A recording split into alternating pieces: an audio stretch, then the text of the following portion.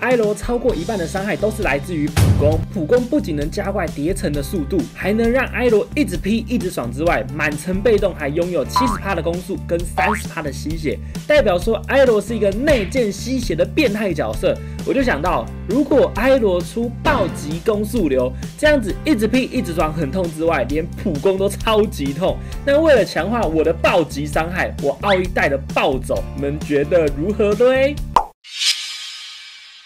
？Hello，大家好，我是优哥。哎，y o g a 这一场我的埃罗带上悟空的奥义暴走啦。一般埃罗应该会带猛攻吧？猛攻跟暴走最大差别就在于前期跟后期的强势程度啊。猛攻呢可以让埃罗前期清兵线速度快一点，然后技能伤害高一点。可是，在后期的话，埃罗绝对带上暴走啊，或者他是那个暴怒。普攻暴击下去肯定是更强的啊！我称之为这一套装备叫做暴走流埃罗啦。现在我要去断兵线哦，断兵线你一定要能够吊打你的对线英雄之外，还要注意对面法师跟打野在哪边，不然你走到这么深的地方，你万一被对面团团包围，你还是死路一条啊！所以断兵线一定要切记哦，除了要打爆吊打对手之外，你还要注意对面的法师跟打野在哪边。那断了兵线哦，纯粹就是为了耍帅，因为断了兵线，老实讲，我现在也不能干什么，只能耍帅一下，证明我前期就是比你厉害，而且我这场奥运还是带爆。走哦，叶娜是完全拿我没辙的，因为叶娜哦，她要强，一定要在四等之后。可是她四等之后，你们注意看我这场的魔纹，哎，不是我的技能带什么？狂热，现在狂热会增加二十五趴的额外韧性，再加上我的韧性鞋，我就有六十趴的韧性。请问叶娜怎么样才控得了我？你控不住我的，你抓不住我的，这就是我的暴走流埃罗。另外啊，我最近影片很少会叫大家帮忙订阅一下我的频道，通常都是讲暗赞居多啦。可是我看了一下五月份的数据哦，五月份有看我影片的人只有三十二趴的人有订阅啊！我的天呐，只有三成的有订阅，那请问？将近七成的你们在哪里？让我看到六十七趴的人订阅按下去就对啦。好啦，那前期埃罗呢，就是赶快找经济，因为我们这一场的打法呢，就是走一个后期暴走流，那普攻很痛的玩法，所以要赶快把经济弄起来。因为我这一场对到叶娜，为了我不要膨胀嘛，所以第一件直接出了骑士板甲，哦，来增加我的防御。这样子叶娜突然冲出来暴打我一顿，我的血线还可以保持在还不错，甚至我。还有机会直接反打一波叶娜，这就是我的玩法。虽然，呃，艾罗本来现在就还蛮强的，那叶娜现在还蛮弱这样子啊，但至少啦，艾罗在前期来讲，所向披靡，所向无敌。在后期的时候更不用说，我这个普攻暴走流。那我一直在强调普攻暴走流，你们一定要看到最后，你才能知道这个暴击有多么的疗愈。我非常喜欢看到暴击数字哦，因为暴击数字通常都会比一般的来的更粗一点，像脆脆就有点太细了，希望它可以再吃肥一点啊，我就更爱了。那这边抢个苏哈叶娜是绝对抢不过的，因为我的 P 绝对比你还要更痛。你要继续跟我打，我还有狂热，请问你跟怎么跟我怎么怎么跟我打？大，你看它变换形态，我劈你，我劈爆你，狂热开下去，我的血量还一直回。接着我们再用大招来一个完美收割，而且大招是无敌效果啊，在塔里面塔根本打不到哦，太爽啦！这个角色，这个角色玩起来就是这么好玩啊。不过我觉得埃罗在，虽然我一直强调这个暴击流是现在不是那么主流的玩法，不过我是有理由的好吗？因为我们每次在团战。呃，埃罗，我每次满层，我二技能就会直接劈下去。那每次劈完呢，我被动会马上清零。我要透过一个普攻，一个普攻来把我的被动叠满层。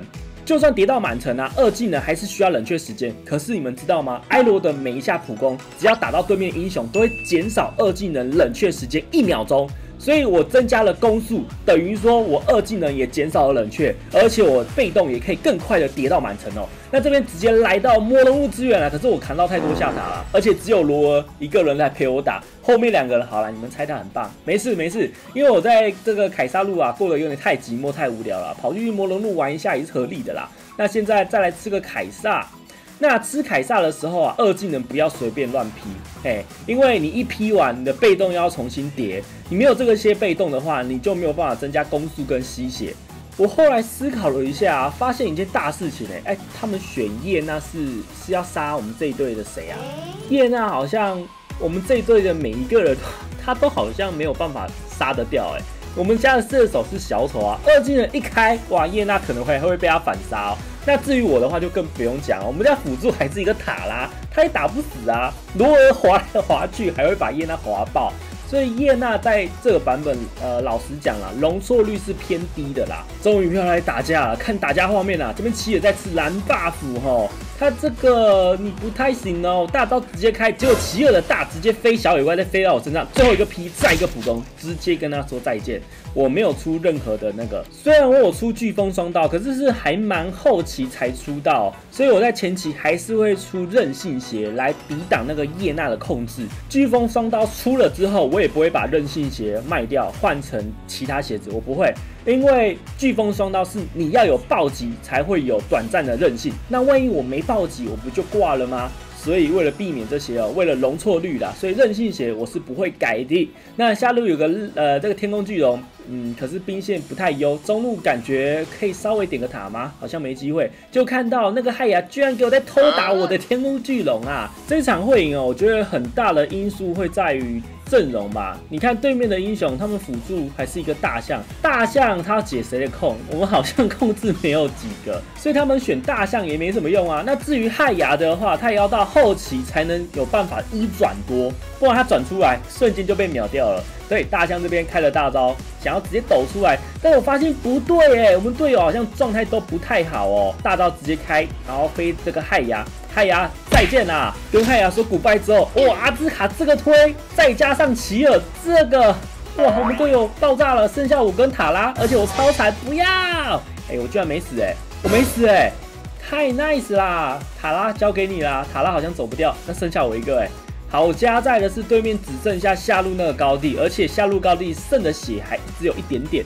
那这个蓝呢，我想抢抢看，因为埃罗二技能很痛，我真的抢到欸。现在是有凯撒的，而且我的圣剑跟飓风双刀都出来了。我现在普攻给你们看一下，暴击一千九。那如果是诶埃罗的第三下普攻呢，暴击伤害会更高，来到两千三。因为埃罗每攻击三下，那个第三下伤害是有一百四十趴物理攻击加成的哦，所以第三下普攻特别的痛啊！看到我们家打野艾米丽在吃凯撒，我们过去帮忙打一下，不然看他吃好像有点辛苦啊。因为毕竟艾米丽算是比较战士型的打野，伤害比较偏低。所以他吃凯撒很慢，吃完就看艾米丽会把龙放在哪哦。哦，看到艾米丽她的位置肯定非常专业，她会放在下路，对，放下路就对了。因为很多人明明对面中路跟上路都没有高地，硬要把龙放在中路跟上路，对嘛？让龙去喷掉那一座塔嘛。那在等龙跑过来的时候啊，我们先吃个红 buff，这样子我们普攻也有额外的缓速效果。我感觉快要打起来了，你们觉得嘞？差不多了吧？上路兵线带掉之后。看到这个奇尔直接开大哎，他开我们的罗尔，可是罗尔一滑起来，哇，那个奇尔直接拜拜。那我大招直接飞对面后排两个人都被我飞到了，来一技能二阶直接劈两个哎，那两个人直接挂掉，再一个烟呐，成功拿到了三连杀，游戏就这样结束了。不然我还想要杀对面的大象啊，哎，这个普攻暴走流的埃罗还不错玩呢。后期虽然暴击伤害大概两千左右。但是我的普攻速度是非常快的，但是这套装备就是缺少了坦度啦，自己再斟酌一下喽。那也不要忘记帮影片点一个大大的喜欢，订阅我的频道。我是六哥，我们就下部影片见喽，拜拜。